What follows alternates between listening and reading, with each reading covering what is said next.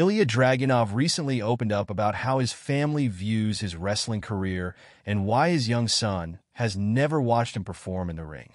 Dragunov, who has been making waves in WWE since his debut in 2019 with the NXT UK brand, spoke candidly in an interview with Metro about his family's perspective on his unique and brutal in-ring style.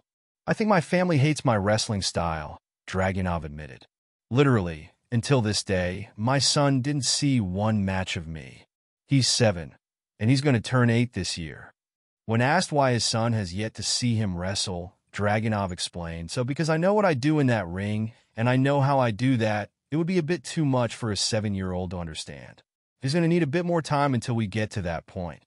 Dragunov's wrestling style is known for its intensity and physicality, traits that have made him a standout performer in WWE.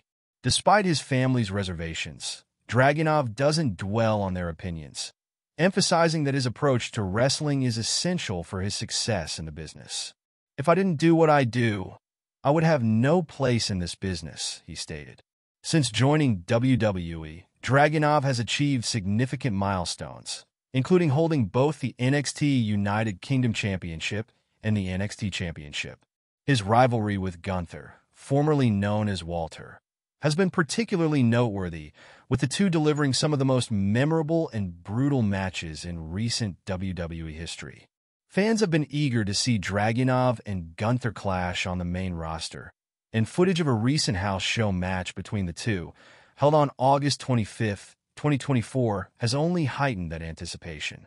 The duo first faced off in WWE singles action on the October 29, 2020 edition of NXT UK, where Gunther defeated Dragunov to retain his NXT UK Championship.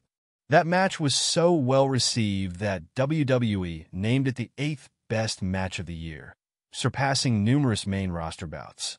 As Dragunov continues to make his mark in WWE, fans and peers alike are eager to see what the future holds for the Russian-born superstar, both in terms of his in-ring achievements and his journey with his family as they eventually come to see him in action. What are your thoughts on Ilja Dragunov's decision to keep his son from watching his matches? And how do you think this might affect their relationship in the future? Let us know in the comments section below.